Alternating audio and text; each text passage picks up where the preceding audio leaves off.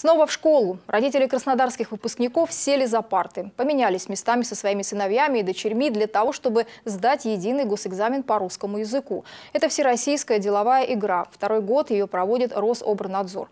В одном из пунктов приема экзамена побывала наша съемочная группа. Справились ли родители с ЕГЭ, расскажет Татьяна Леонова третьей гимназии собрались 45 отважных мам и пап, которые все-таки решились. Анна Соколова идет к столу уверенной походкой. В школе была хорошисткой. ЕГЭ, конечно, не сдавала, но говорит, что ничего страшного в этом нет. На экзамен пришла, чтобы поддержать дочь. Аделина учится в 37-й школе. Как бы самой интересно пройти этот этап, как все это все-таки происходит, испытать это на собственном, наверное, примере, рассказать это дочери, чтобы меньше волновались, наверное, то есть посмотреть изнутри всю эту ситуацию, весь этот экзамен ЕГЭ, которым так пугают. Сначала построить построения и распределения по аудиториям. Теперь передвигаться по школе можно только сопровождающим. Несколько раз проверка на шпаргалке. Сразу скажу, что не нашли ни одной.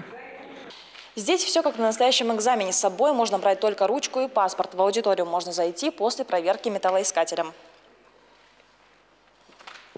В аудиторию пускают строго по одному. Когда все заняли места, начинается подготовка к тестированию. Конверт с заданиями вскрывают перед родителями.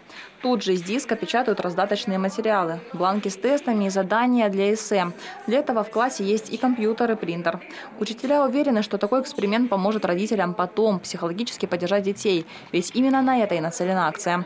Родители могли с заданием только ознакомиться или пройти испытание полностью за три с половиной часа на каждом родительском собрании родителям рассказывают. Но одно дело теория, и другое дело практика, когда мы будем рассказывать, что так все хорошо, когда ты сам попробуешь, поучаствуешь э, в этой роли, тогда, наверное, и детям можно будет сказать, что это не так страшно, вас там ждут, и вы напишите, это будет очень легко.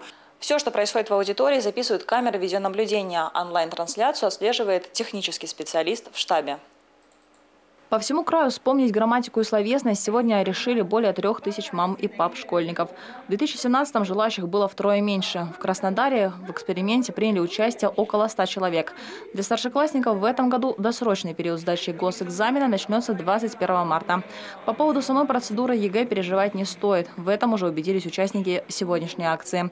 Самое время готовиться, чтобы получить высокие баллы. Татьяна Леонова, Иван Жалнин и Вадим Губайдулин, телекомпания «Краснодар».